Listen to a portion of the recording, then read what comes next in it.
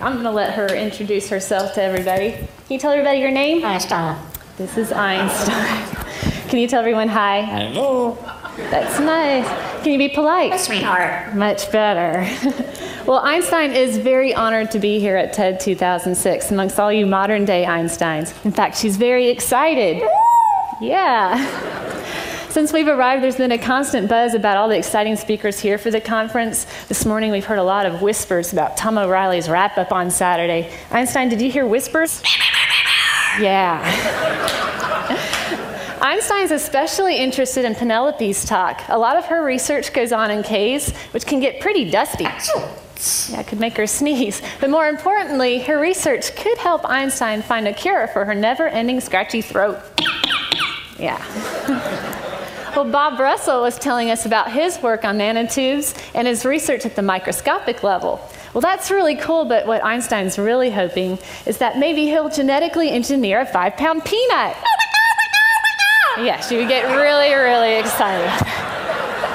That is one big peanut. Since Einstein is a bird, she's very interested in things that fly. She thinks Burt Rutan is very impressive. Oh. Yeah.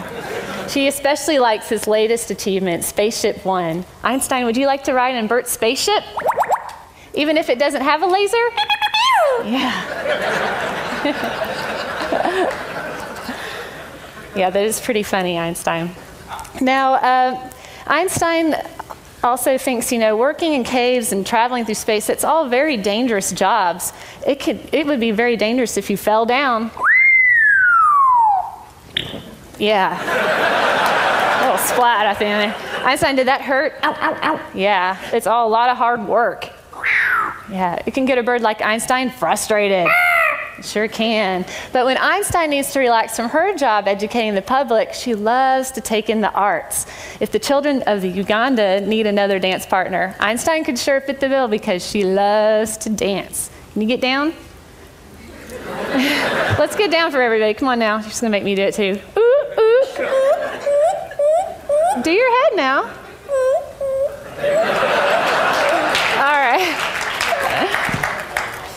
Or maybe Sirena Huang would like to learn some arias on her violin, and Einstein could sing along with some opera. Very good. Or maybe Stew just needs another backup singer. Einstein, can you also sing? I know you need to get rid of that seed first. Can you sing? There you go. And of course, if all else fails, she can just run off and enjoy a fun fiesta. Ah! All right. Well, Einstein was pretty embarrassed to admit this earlier, but she was telling me backstage that she had a problem. What's her? No, I don't have the problem. You have the problem. Remember, you were saying that you were really embarrassed because you're in love with a pirate.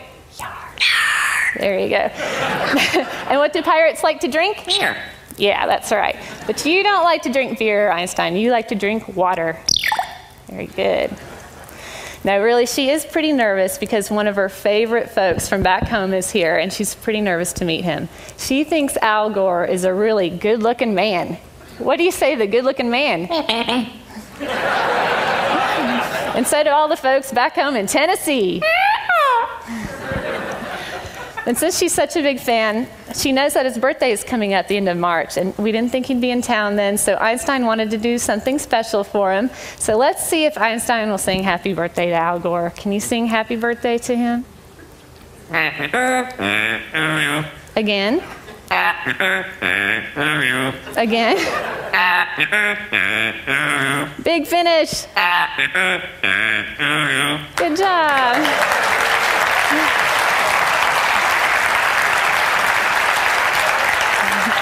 Well, before, before we wrap it up, she would like to give a shout out to all her animal friends back at the Knoxville Zoo.